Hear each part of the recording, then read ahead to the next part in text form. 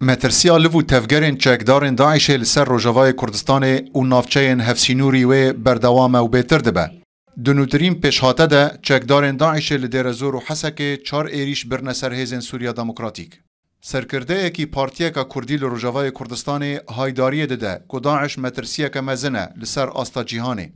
Bêguman DAIŞ rêxistineke herî tîrolîst e. Avaya li ser xwînê û kuştinê û wêrankirinê pir dûrî yaseya û sênca mirovatiyê û îslamê ye. Dijminê herî mezin e ji miletê kurd û xaka wî re û pêkhatiyê gopê re dijîn.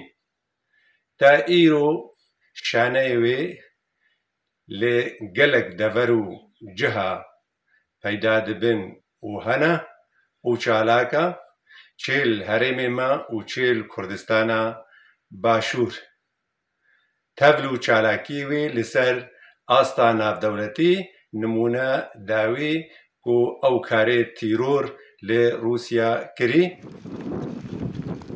Serkirdeyê Partiya Kurdî li Rojavayê Kurdistanê daxwaz dike ku aliyên Kurdî û hemû pêkhateyên Rojavayê Kurdistanê li hember gef û metirsiya DAIŞ'ê yek rêz û yek helwest bin.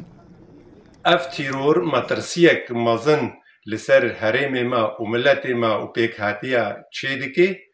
Ya ji me tê xwestin Tevgera kurdî siyasî û kurdistanî, avakirina lêvegerekê li ser bingeha yekrêziyê bi pêkhatiya tevayî re ê deverê û piştgirtiyeke xurttir ya navdewletî ji bo vê tîrorê bi têk bibin û nehêlin pêşkevê ji ber matirsiya li ser mirovatiyê bi tevayî û bi taybetî li ser miletê me.